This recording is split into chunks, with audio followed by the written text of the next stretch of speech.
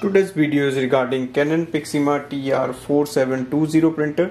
I'm going to show you how to set up or how to activate the two-sided printing in this printer.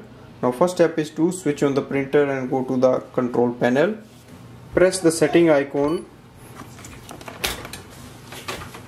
On the next screen, scroll ahead and look for the eco settings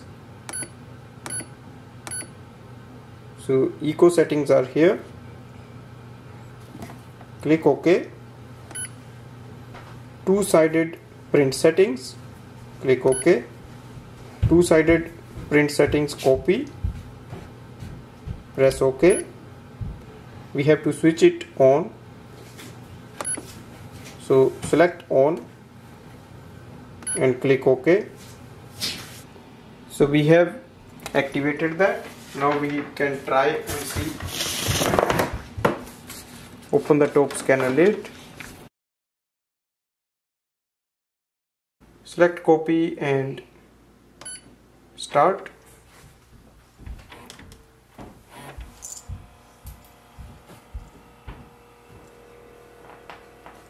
Now I have to place the second side of the page or you can place another page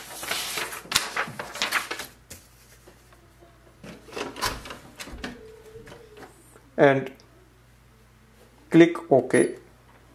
So you will see it will ask you to scan both sides so that it can copy both sides.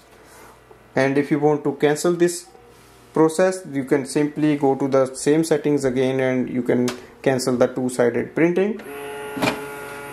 Now wait for the copy to come out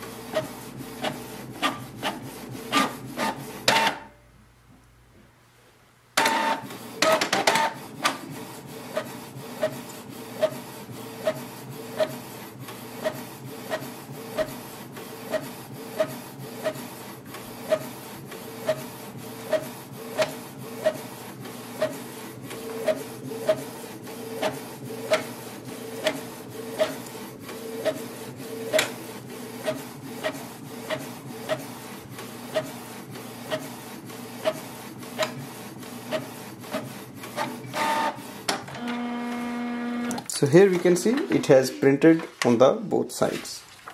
Thanks for watching